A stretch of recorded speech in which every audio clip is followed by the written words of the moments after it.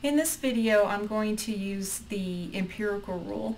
Suppose that grade point averages of undergraduate students at one university have a bell-shaped distribution with a mean of 2.52 and a standard deviation of 0.38.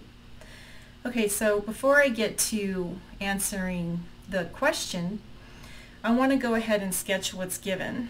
Okay, so the empirical rule is also called the 68 95, 99.7% rule, although that doesn't quite roll off the tongue.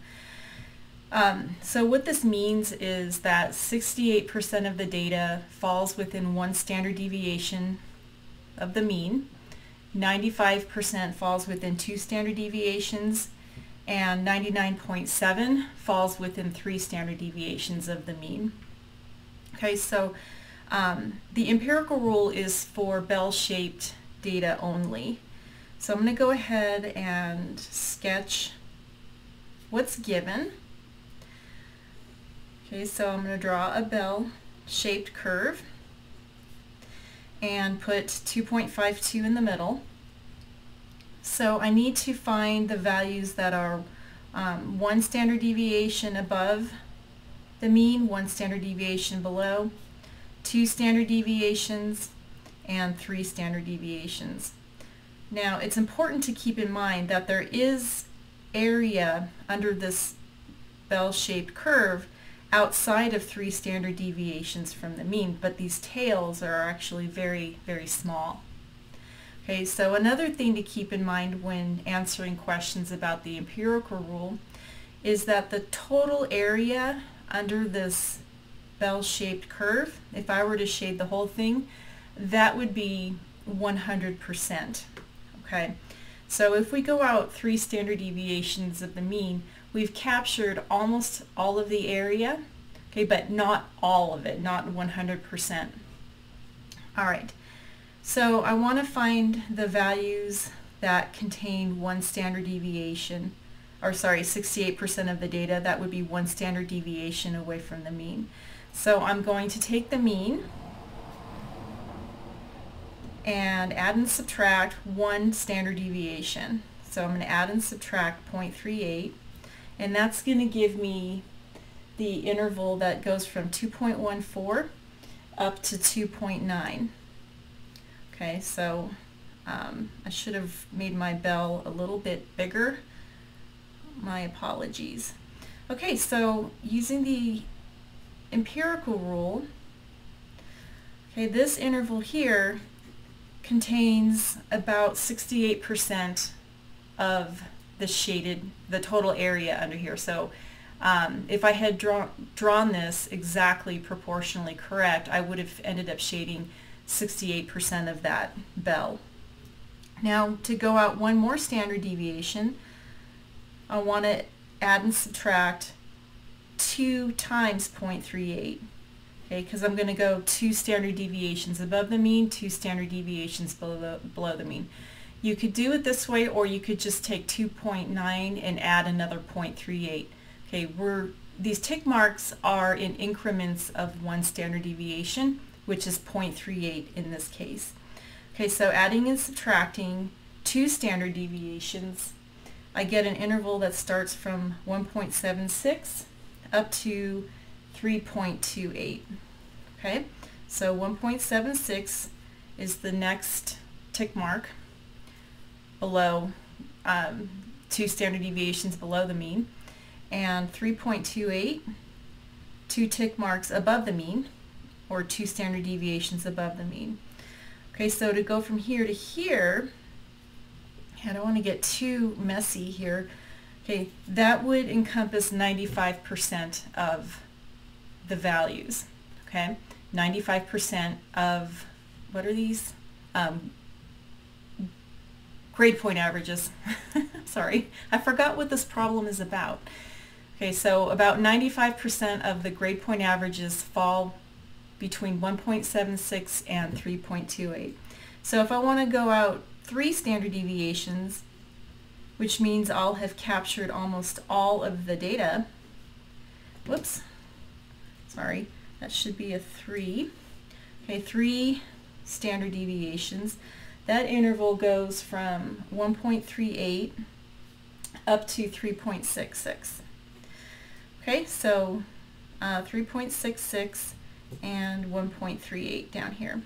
Okay, so in between these two, 99.7, approximately 99.7 percent of the values will occur.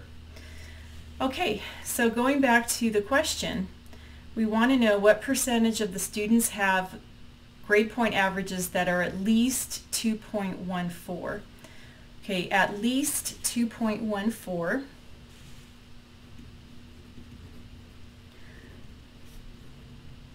means 2.14 or more. Okay, so we want to find all of the values that are to the right of 2.14. Sorry, my pencil just lost lead. Okay, all right, so I'm going to go ahead and sketch that. I'm going to draw another bell curve because if I use the one I had already drawn, it's going to get really messy. Okay, um, this is not a very good sketch here, so let's just pretend that these two halves are symmetric. Okay, so I have the mean, at least 2.14. Going back to my original sketch here, I know that's one standard deviation below the mean. Okay, so I know where to put that. Okay, I'm going to put it to the left of 2.52. At least means this value or more, so I'm going to be shading all of the area to the right of that. Okay, so I want to know what is the shaded area. Well, it's going to be this small sort of rectangular area from 2.14 up to the mean plus this half. Now remember I said the total area completely under this bell shaped curve is 100%. so if I shade half of this, this area here will be 0.5. Okay, so I just want to take 0.5 and add it to this area here. Okay, I know this is one standard deviation away from the mean, and under the empirical rule, 68% fall within one standard deviation of the mean, but I don't want to add 0.5 to 68, okay, um, or 0.68 because then I will get more than 100% and that's clearly um, incorrect given the sketch. Okay, so I'm going to recognize the fact that the um, empirical rule is symmetric. Okay, the this bell-shaped distribution is symmetric. So if I have 68% um, from 2.14 up to 2.9, okay, one standard deviation above, then half of that is going to be 34%. Uh, okay, so this part here is 0.34. So at least 2.14 going completely this way is going to be 0.34 plus 0.5 or 84%. Okay, now on to the next one. All right, uh, the next one is at most 3.28. Okay, so at most is going to be going to be the area to the left of that value. Okay. At most 3.28 means it can't be more than 3.28. All right, so sketching again this situation, I have the mean and 3.28 is clearly above the mean. How many standard deviations above? Well, I'm going to go back to my original bell and see that it's two standard deviations above the mean. Okay, and again, at most means I want to shade to the left of that. Okay, so again, using this reasoning that I used up here, um, given the fact that the total area under this curve is 100%, here's this half plus this um, part here. I know this is 0.5. I just need now to figure out how much area is shaded from 2.52 up to 3.28. Okay, so I know this is two standard deviations above the mean. And I know from the empirical rule that 95% of the values fall between two standard deviations.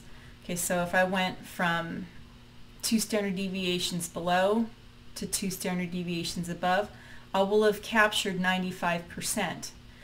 But I don't want to add that 95% to 50%. I want to add half of that because it's going to be this 0.5 plus this smaller area here.